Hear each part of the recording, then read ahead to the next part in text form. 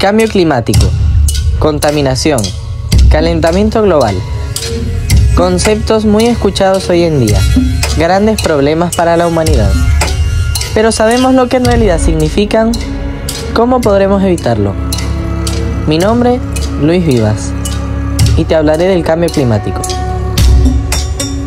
Cuando hablamos de cambio climático, nos referimos a la variación de los parámetros climáticos en el planeta, tales como la temperatura, los vientos, la nubosidad, entre otras cosas. Actividades como la quema de fósiles, la tala de árboles y la cría de ganado son grandes emisores de los llamados gases de efecto invernadero.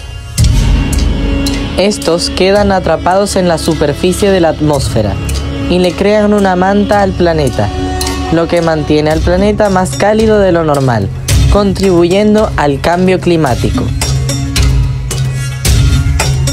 Nuestro planeta está en peligro de extinción.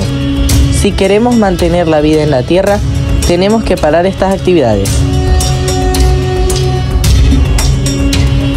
Y ahora que sabes todas estas cosas, ¿vas a seguir contaminando?